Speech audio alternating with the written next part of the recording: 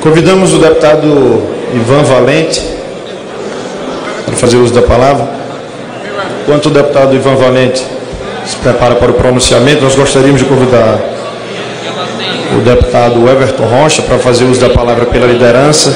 Antes, porém, concedendo um minuto ao deputado Caetano para fazer uso da palavra. Senhor presidente, primeiro que já são 20 horas e 7 minutos e 13 segundos.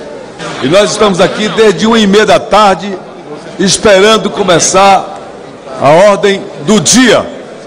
Então, sugiro que Vossa Excelência encerre essa sessão, vez que já passou o momento de se trabalhar a ordem do dia.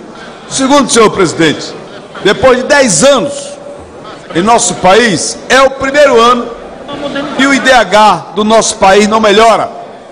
O índice de desenvolvimento humano só podia ser neste governo de Temer.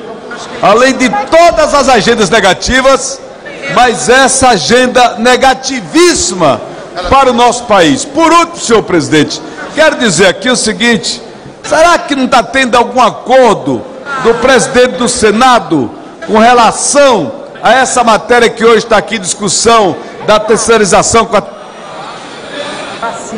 eu penso que é possível que tenha algo a ver, porque tem um interesse muito forte da presidência do Senado com relação a esta matéria em função da ligação que tem com as empresas eh, terceirizadas deste país. Portanto, eu penso que esse debate amanhã nós devemos fazê-lo com mais transparência, com mais profundidade, para que essa casa toda aqui vote contra essa precarização que querem transformar o trabalhador do nosso país. Nesse sentido, nós somos contra a terceirização, somos contra a reforma da Previdência e somos contra também a reforma trabalhista. Estamos juntos com os trabalhadores, estamos juntos com o povo brasileiro.